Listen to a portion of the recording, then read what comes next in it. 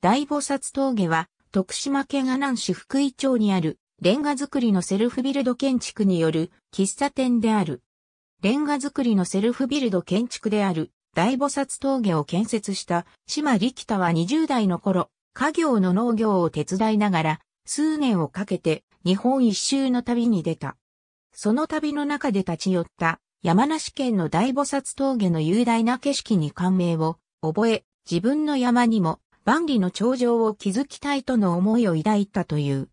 そして、もともとコーヒー好きであった島は、大菩薩峠、万里の長城をいずれかの名を持つ、喫茶店を地元の徳島県阿南市に開業しようと考えた。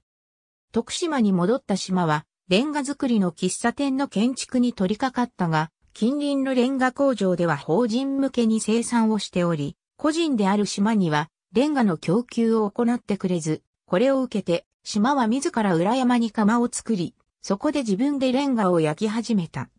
建造に使用された約10万個ものレンガは、ほとんど島自らが焼き上げ、また、積み上げ、敷き詰めたものと言われる。建築の作業は1966年頃から開始され、約5年後の1971年10月10日、喫茶店、大菩薩峠が開店した。その後も島自身の手により、増改築が続けられており、現在も未完成である。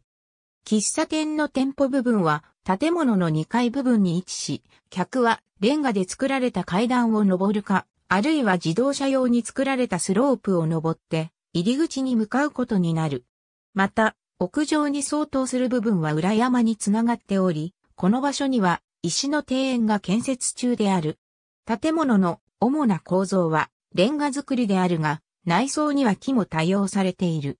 喫茶店の客の使うテーブルや椅子も島によって木の塊から削り出され、また組み合わされて作られたものである。また、店舗の入り口の扉は無垢の一枚岩で、この構想も当初から島の頭の中にあったものであるという。また、入り口近くには金属板を切り出して作られた大菩薩峠のネームプレートが取り付けられている。ありがとうございます。